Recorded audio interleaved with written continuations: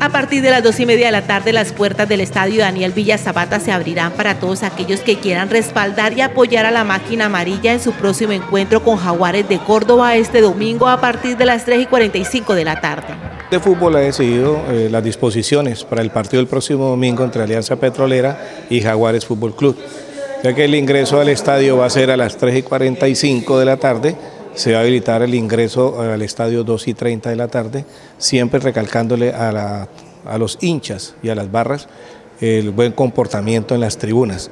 No se va a permitir el ingreso de mujeres embarazadas de ningún mes que esté embarazada, no se le permite el ingreso. La boletería para el público ya está disponible y para dicho compromiso, para el cual serán habilitadas las dos tribunas, el valor será de 20 mil pesos occidental y solo 10 mil en la tribuna oriental y los niños en general el costo será más bajo.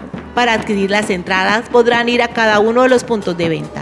Llenar al Daniel Villa Zapata, alentar al equipo y acercar a las familias al fútbol profesional de la ciudad es el principal objetivo que ha trazado las directivas de la Alianza Petrolera, quienes determinaron invitar a 1.500 estudiantes con pases dobles al estadio en el partido que será disputado ante Jaguares. El listado de las instituciones beneficiarias fue previamente seleccionado por el club e informado a los rectores a fin de organizar la entrega para el cual el estudiado pueda acceder quienes podrán ir acompañado por un adulto. La boletería va a estar en eh, tribuna occidental, 20 mil pesos, y para los niños de 5 a 12 años a bajar en 10 mil.